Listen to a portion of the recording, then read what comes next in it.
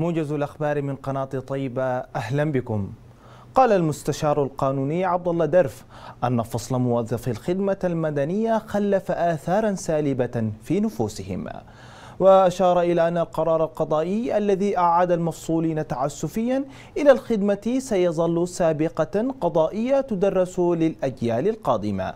مؤكدا على اتخاذهم إجراءات قانونية ضد لجنة إزالة التمكين لجبر الضرر النفسي والأسري والاجتماعي الذي خلفوه تجاه المفصولين تعسفيا منذ العام 2019 أطلقت النيابة العامة السودانية سراح نائب الرئيس السابق عثمان يوسف كبير وأمرت بفك حساباته وإلغاء أي حجز على أمواله وعقاراته.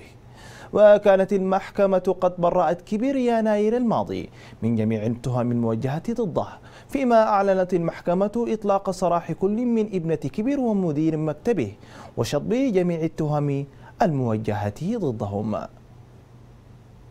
أصدر مجلس عمداء جامعة نيالا بولاية جنوب دارفور قرارا يقضي بتعليق الدراسة في الجامعة إلى أجل غير مسمى باستثناء كلية الدراسات العليا.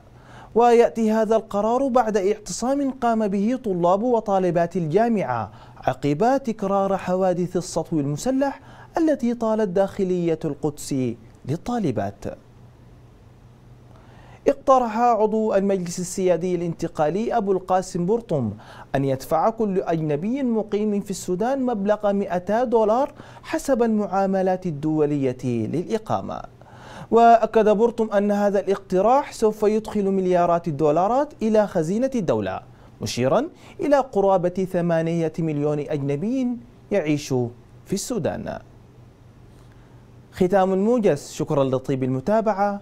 إلى اللقاء.